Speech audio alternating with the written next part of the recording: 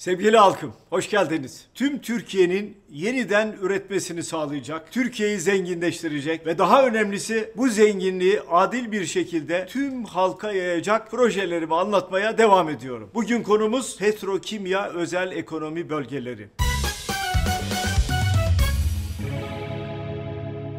Türkiye'nin cari açığının en önemli kalemlerinden biri petrokimya sanayi. Cari açığın yaklaşık %30'u petrokimya ürünlerinin ithalatından kaynaklı. Biz bu ürünleri kendi ülkemizde üreteceğiz. Böylece her yıl 20 milyar dolar cari açığı kapatacağız. İki, petrokimya özel bölgesi oluşturacağız. Bu bölgelerin birini Adana Yumurtalık'ta.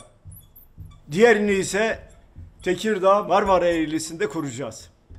Toplamı yaklaşık 40 bin dekar alandan oluşan bu bölgede rekabetçi, kaliteli petrokimya ürünleri işlenecek. Kamu özel sektör işbirliğiyle üretim yapacağız. Bu bölgelerde aynı zamanda yüksek kapasiteli petrol ve petrol ürünleri depolanacak, işlenecek ve sevk edilecek. Projeye dahil olarak petrol rafinerisi, limanlar, fabrikalar inşa edilecek. 15 bin kişi doğrudan istihdam edilecek. Kamu altyapı yatırımları 1,5 milyar dolar olacak. Bölgenin ilk etapta 6 milyar dolar yatırım almasını ve 10 yılda 30 milyar dolar civarında doğrudan yatırım çekmesini hedefliyoruz. Üstelik bu üretimi yenilikçi teknolojilerle gerçekleştireceğiz. Yeşil üretime yatırım yapacağız. Türkiye'nin endüstriyel dönüşümünü biz gerçekleştireceğiz. Bu projeyi iktidarımızın ilk yılında gerçekleştirmeye başlayacağız. Çünkü Türkiye zenginleşmeyi hak ediyor. Evet sevgili halkım, Türkiye'yi kalıcı refaha ulaştıracak projelerimizi anlatmaya devam edeceğim. Türkiye zenginleşecek, halk zenginleşecek, aş için, iş için, huzur için, refah için.